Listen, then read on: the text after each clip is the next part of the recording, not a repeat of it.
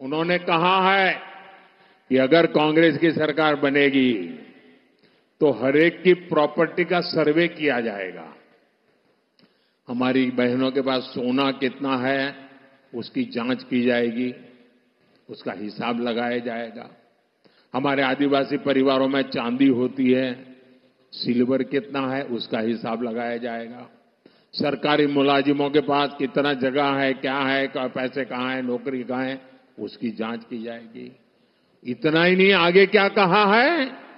ये जो गोल्ड है बहनों का, और और जो संपत्ति है, ये सबको समान रूप से वितरित कर दी जाएगी। क्या ये आपको मंजूर है क्या? आपकी संपत्ति सरकार को हटने का अधिकार है क्या? क्या आपकी संपत्ति को आपने मेहनत करके कमाई हुई संपत्ति को सरकार को ऐंठने का अधिकार है क्या? क्या उस संपत्ति को मेरी माताओं बहनों की ज़िंदगी में सोना, वो सिर्फ़ शो करने के लिए नहीं होता है, उसके स्वाभिमान से जुड़ा हुआ है। उसका मंगल सूत्र वो एक सोने का कीमत का मुद्दा नहीं है, उसके जीवन के सपनों से जुड़ा हुआ है। तुम उसे छीनने की बात कर रहे हो, अपने मैनिफेस्टो में। गोल ले लेंगे, सबको वितरित कर देंगे। और पहले जब उनकी सरकार थी, उन्होंने कहा था कि देश की संपत्ति पर पहला अधिकार मुसलमानों का है। इसका मतलब ये संपत्ति इकट्ठी करके किसको बांटेंगे? जिनके ज़्यादा बच्चे हैं, उनको बांटेंगे।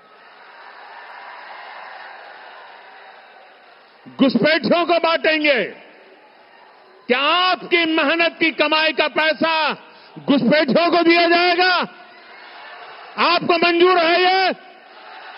ये कांग्रेस का मैनिफेस्टो कह रहा है कि वो माताओं बहनों का सोने का हिसाब करेंगे, उसकी जड़ती करेंगे, जानकारी लेंगे और फिर उस संपत्ति को बांट देंगे और उनको बांटेंगे।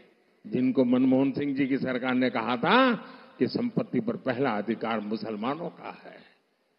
भाइयों बहनों, ये अर्बन नक्सल की सोच, मेरी माताओं बहनों, ये आपका मंगल सूत्र भी बचने नहीं देंगे।